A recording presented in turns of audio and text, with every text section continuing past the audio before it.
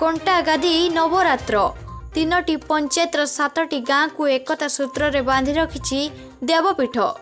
ବର୍ଷକୁ ଥରେ ସାତପଡ଼ା ସମେତ ଆଖପାଖ ଅଞ୍ଚଳର ହଜାର ହଜାର ଲୋକ ରାଗରୋଷା ଭୁଲି ଏକାଠି ହୋଇ ମହାପୁରୁଷଙ୍କ ଦର୍ଶନ ଓ ମାନସିକ କରିବା ସହ ନାମ ସଂକୀର୍ତ୍ତନରେ ମଜି ଯାଆନ୍ତି ଏମିତି ଏକ ପୀଠ ଏରସମ କାଣିପଦର ପ୍ରସିଦ୍ଧ ଜାମୁ ମଠ କଣ୍ଟାଗାଦି ମହାପୁରୁଷଙ୍କ ପୀଠ।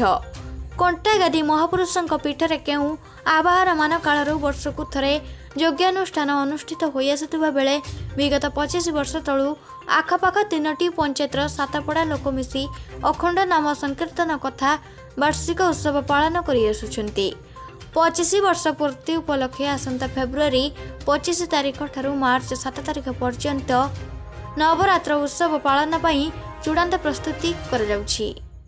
ଏହି ଉପଲକ୍ଷେ କାଣିପଦା କଣ୍ଟାଗାଦି ମହାପୁରୁଷଙ୍କ ପୀଠରେ କଣ୍ଟାଗାଦି ଟ୍ରଷ୍ଟ ବୋର୍ଡ ଓ ସାତପଡ଼ା ମୁରବୀ ମାନଙ୍କ ପକ୍ଷରୁ ଏକ ସାମ୍ବାଦିକ ସମ୍ମିଳନୀରେ ସୂଚନା ପ୍ରଦାନ କରାଯାଇଛି।